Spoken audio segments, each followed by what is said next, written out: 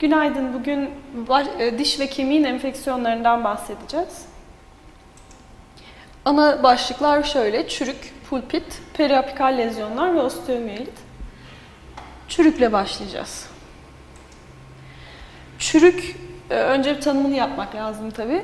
Belli özel bir enfeksiyon çeşidi ve e, bazı özellikle asit üreten ve proteolitik, proteolitik e, enzimleri bolca üreten bakteri suçlarının mine üzerine birikmesi, demineralizasyon yapması ve matrix yıkımıyla yap, yıkımı yapmasıyla giden bir enfeksiyon. Sınıflandırması oldukça çeşitli şekillerde sınıflandırabilirsiniz. Mine çürüğü, işte dentin çürüğü diyebilirsiniz yerine göre, derinliğine göre. En sık kullanılanı klinik sınıflandırma, nerede durduğuna göre e, fissürlerde olan, olanı, düz yüzeylerde olanı, sementaylı, reküren diye sınıflayabilirsiniz. İlerleme hızına göre akut ve kronik diyebilirsiniz. Ben e, klinik sınıflamadan başlayacağım. Pit veya fissür çürüğü en sık görülen çürük. E, gördüğünüz gibi şurada da belli olduğu gibi e, fissürlerde ve katlantı bölgelerinde yerleşiyor. İnce çizgiler halinde ilerliyor ve buradan böyle çiz, tek bir çizgiymiş gibi görünmekle birlikte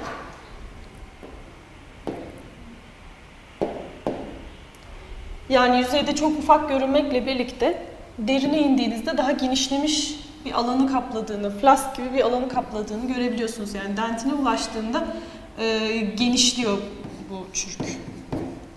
En sık görülen çürük tipi daha çok molarlarda premolarlarda görülüyor. Üzerinde katlantıları bol olan dişlerde yani. E, ve yüzeyde göründüğünden daha geniş oluyor.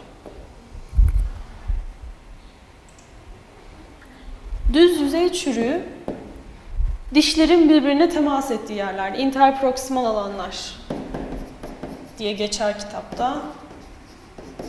Interproksimal alanlarda geçer diye geçer. Daha nadir olarak e, dişlerin labial ya da bukkal yüzlerinde de görülebilir. Bu nasıl oluyor? E, genelde bebeklere biberon verilip de biberonun içi doluyken bebeğin uyuyakalması ve o süt işte mama her neyse onun e, dişin ön yüzde, dişlerin ön yüzlerine, labial yüzünde yani e, birikip çürük yapması e, düz yüzey çürüklerini bebeklerde de görmemize neden oluyor.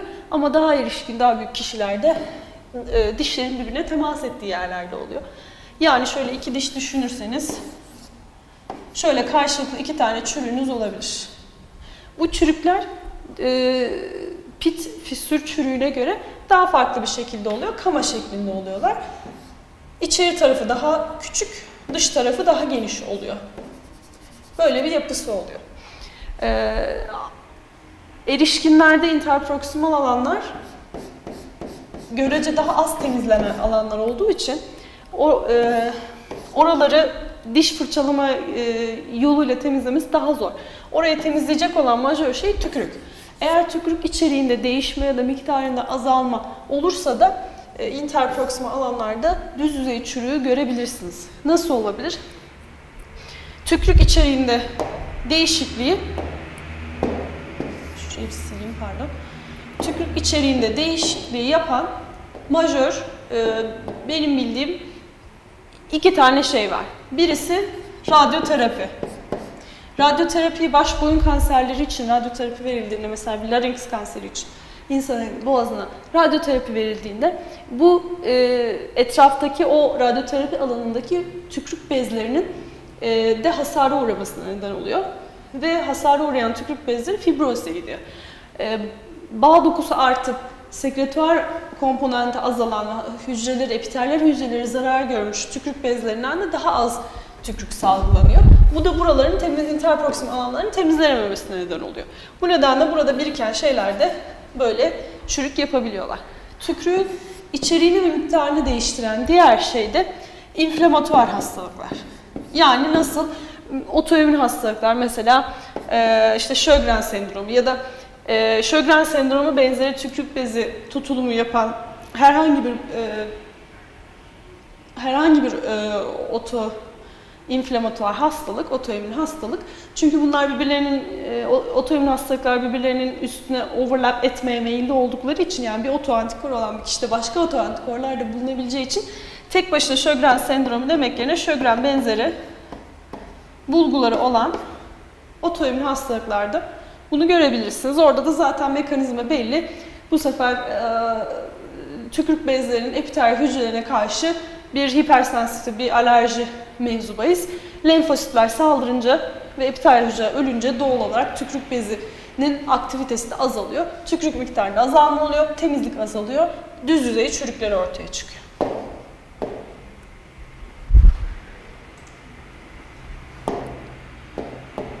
Semental ve kök çürüğü diş eti çekilmesi zemininde ve özellikle ileri yaşta görülüyor.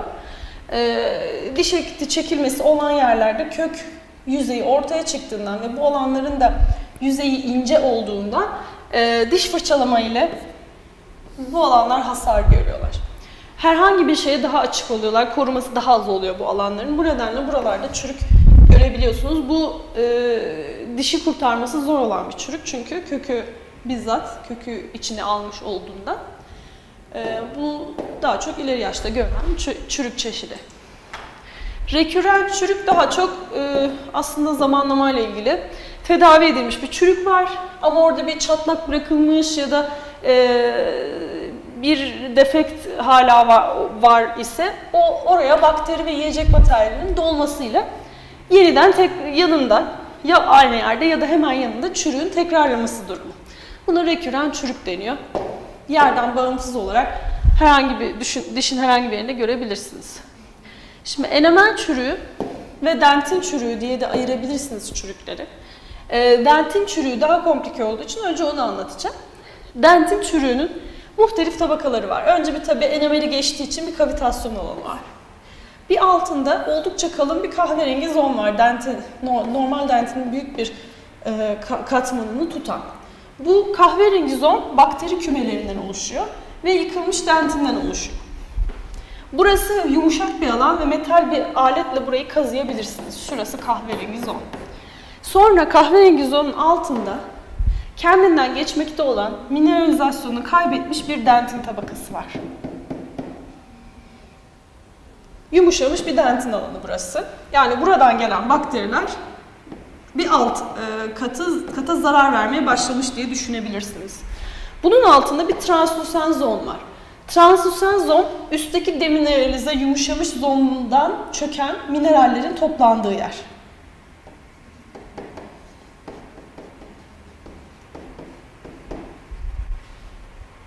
Bunun altında daha yeni yeni zarar görmeye başlamış ve yağlı dejenerasyona gitmiş. Yani hücrelerini yıkı, hücreleri yıkılmış hücrelerinin membranlarından arta kalan e, o yağ içeren materyali biriktiği yağlı dejenerasyon gösteren alan mevcut burada da. Bunun altında da bir granülasyon dokusu gibi bir reparatif dentin tabakası var. Bu dentin çürüğünün yapısı. Enamel çürüğü e, daha çok düz yüzey çürüğüne benzer şekilde şöyle kama şeklinde bir yapı oluyor diş yüzeyinde ve e, pH değişiklikleriyle ilgili oluyor. pH sürekli değişen, pH sürekli değişen ve asidik e, materyale maruz kalan bir diş yüzeyinde tekrarlayan demineralizasyon ve remineralizasyon e, alanları olması nedeniyle belli bir alan yumuşuyor. Yumuşayan alanda tabi bakterilerin e, saldırısına açık hale geliyor. Bu da enemer çürüğünü oluşturuyor.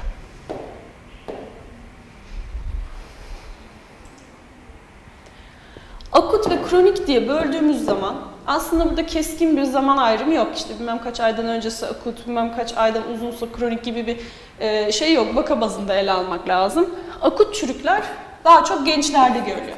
Çünkü gençlerde e, dentin tübülleri yani enameli bir kez açtığı zaman bakteriler, bakteriler dentin tübülleri kısa, geniş ve sklerotik değil. Pulpa boşlukları ise büyük. Vaskülarizasyonu da fazla. Bu nedenle dentin tübüllerinin içinden hızla ilerleyebiliyor bakteriler.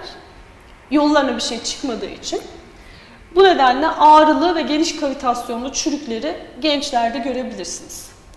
Kronik çürük daha ileri yaşta görülüyor ve burada enameli aşmakta olan, aşmış olan e, çürüğün daha yavaş ilerlediğini görebiliyorsunuz. Çünkü yaşlandıkça dentin tübülleri daralıyor ve daha sklerotik hale geliyor. Bu nedenle içinde herhangi bir şeyin ilerlemesi hızı azalıyor.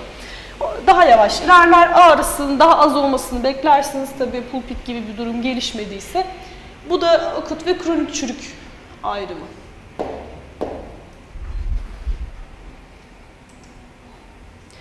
Pulpite geldiğimiz zaman pulpitin adı üzerinde zaten pulpanın inflamasyonu kendisi. Pulpanın özelliği sınırlı hacimli bir e, boşluk olması. Yani e, normalde inflamasyondan bahsettiğimizde vazodilatasyondan bahsederiz. İşte vasküler permeabilite artışından bahsederiz. Dışarıya sıvı çıkışından bahsederiz. Eksudasyon, işte transudasyon gibi şeylerden bahsederiz. Bunların hepsi volüm arttırıcı şeyler.